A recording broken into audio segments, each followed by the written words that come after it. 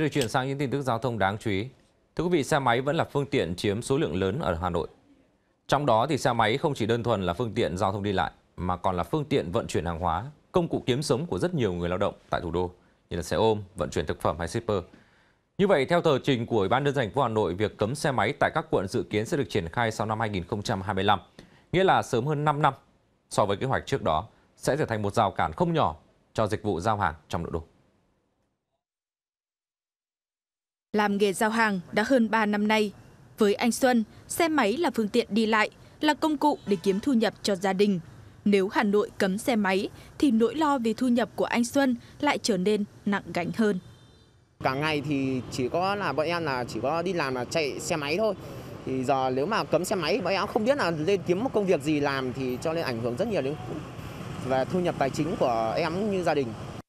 Trong khi đó, với đặc thù hệ thống giao thông Hà Nội có nhiều ngõ ngách nhỏ và hẻm sâu, việc cấm xe máy cũng sẽ gây ra những khó khăn không nhỏ.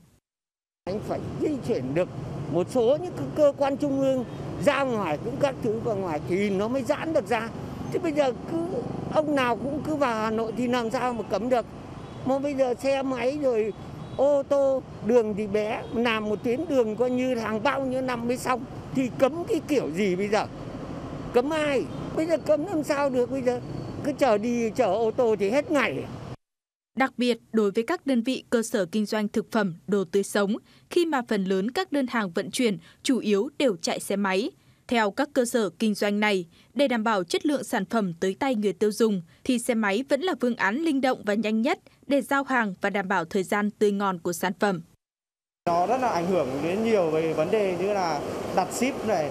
Vì thường khách hàng của mình cũng không thể tập trung ở quanh đây, họ có thể đi bộ hoặc là đi, đi ô tô đến được. Mà có những khách hàng cần rất ở xa và cần phải đặt ship mà trong vòng à, từ 15 đến 30 phút là phải ship cho cho khách.